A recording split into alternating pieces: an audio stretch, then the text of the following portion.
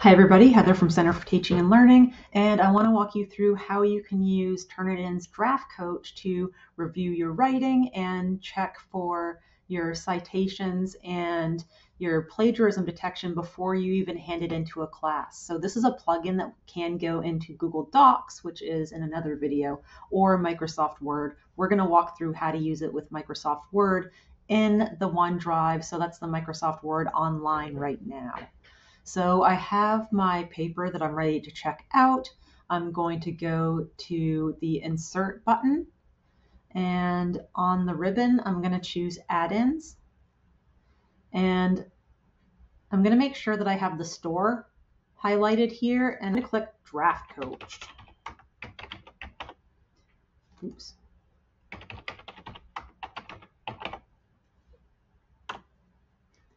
And it comes up on top. We're going to go ahead and click add. And now you can see that on the right hand side here, we have the Turnitin. We're going to click to get feedback. It opens up a pop-up and we are going to log in with our at maine.edu and now you can see that it's opened up the, the draft coach. I can go ahead and walk through the different elements of the draft coach. So I am going to go ahead and click first um, the citation checker. We'll walk through each one individually. And here it says that I have one citation issue. If I click down, I can see what it is and I can get some information. And what it's telling me with this particular one is even though I have it in my reference list, I don't have in-text citation anywhere. So really it's calling my attention to if I'm going to be using references, then I should be referring to them in the text. So I'm going to use the top menu here and I'm going to go to the grammar checker and I'll run the grammar guide.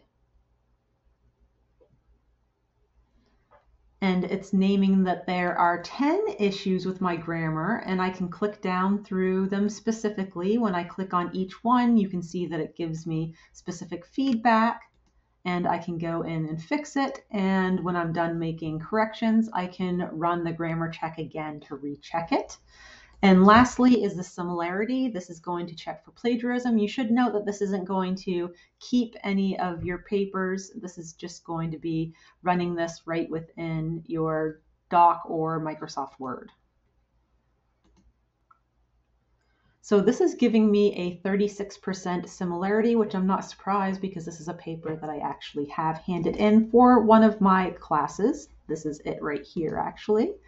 Um, but I can go through and click and find where exactly all those spaces are that may be plagiarized or too similar. So that calls my attention to going back to those spaces and really revising them so that they um, are my own writing. If you have any questions, go ahead and give IT a call. Otherwise, happy writing.